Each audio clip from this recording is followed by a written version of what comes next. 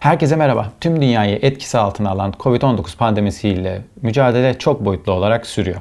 Salgının ilk olarak ortaya çıktığı Çin'de vaka sayılarında düşüş gözlemlendiği ve normal yaşama yavaş yavaş geçildiği haberleri gelirken Amerika, İtalya ve İspanya ise e, en riskli dönemleri yaşıyorlar. Peki bizim ülkemizde durum nedir? Peak noktası ne zaman yaşanabilir? Vaka sayılarında düşüşü gözlemlememize daha ne kadar var? Ve herkesin merak ettiği gibi bu salgın tahminen ne zaman sona erecek?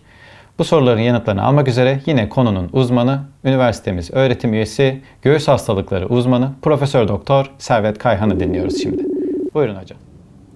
Covid-19 hastalığı dünyanın gündemine 2019 yılının Aralık ayının 31'inde geldi. Daha sonra bildiğimiz gibi Dünya Sağlık Örgütü tarafından pandemi ilan edildi. Ülkemizde ise Mart ayının 10'undan sonra ilk tanı konmuş oldu. Halen ülkemizde e, toplamda 30 bini geçmiş olan bir vaka sayısıyla karşı karşıyayız. Ve günlük sayılarımız her geçen gün biraz daha artmakta. E, dünya tecrübelerine baktığımız zaman Çin'de bu pandeminin yaklaşık iki buçuk ay sürdüğünü görmekteyiz ve artık günümüzde yavaş yavaş normal bir e, yaşantıya geçmiş durumdalar.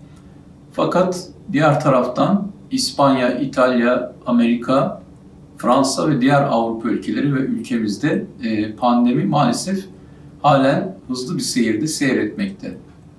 Ülkelerin sosyo-kültürel, demografik, sağlık altyapıları ve kişilerin e, pandemiyi algılama süreci, kişisel korunma yöntemlerini kullanmalarına göre pandeminin hızı farklı seyredebilmektedir.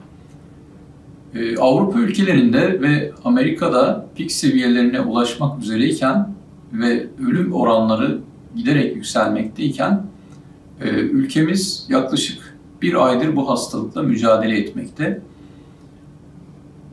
E, alınan tedbirlerle birlikte sosyal mesafenin korunması, kişisel maskelerin, koruyucu maskelerin kullanılması, hastaların hızlı bir şekilde tespit edilip izole edilmesi ve yatması gerekenlerin hastanede tedavi edilmesi bu süreçlerin hızlı bir şekilde ülkemizde tamamlandığını görmekteyiz. Buradaki başarı bizim pandemi sürecini de doğru yönetmemizi etkileyecektir. En kısa sürede bu pandeminin e, kontrol altına alınabilmesi için e, hastalık belirtisi olan kişilerin mutlaka hastalık tespiti için ilgili sağlık kuruluşlarına başvurması izolasyon tedbirlerinin mutlaka alınması gerekiyor.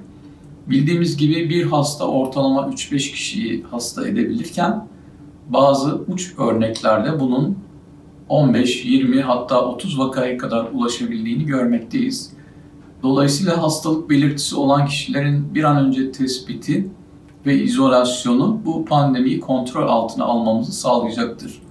Biz de bu süreci 2-3 e, aylık bir ortalama e, dönemde kontrol altına almayı ve normal bir yaşantıya geçmeyi tahmin ediyoruz.